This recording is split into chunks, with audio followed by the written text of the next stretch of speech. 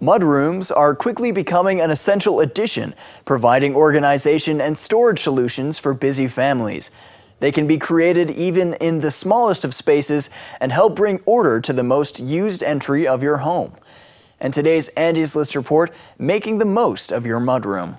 When Nadine Malind started house hunting, a mudroom was on her must-have list.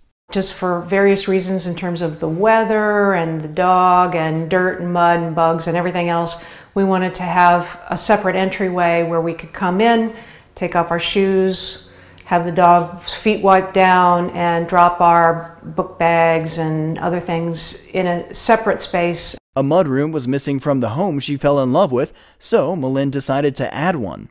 Really love that it has a big closet and we've built in some shelves for organizing um, and a place to put mops and brooms and the dog food and hats and all those kinds of things.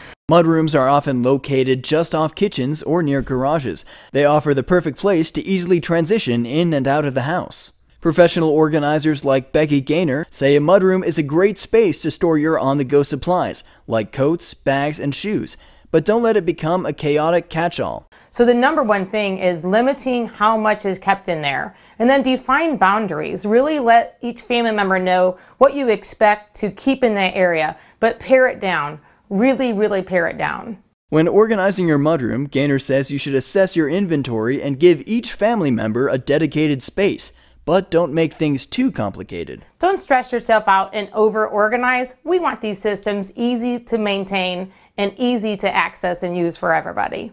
Angie's List says mudrooms not only increase the value of your home, but they can also extend the life of your flooring in other areas of the house and help you save on heating costs. What many people don't realize when it comes to installing a mudroom is it actually can make your home more energy efficient.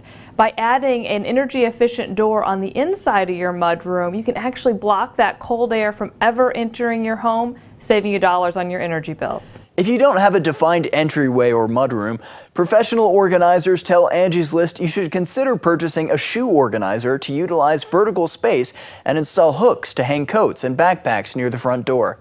I'm Noah Begin for News 46.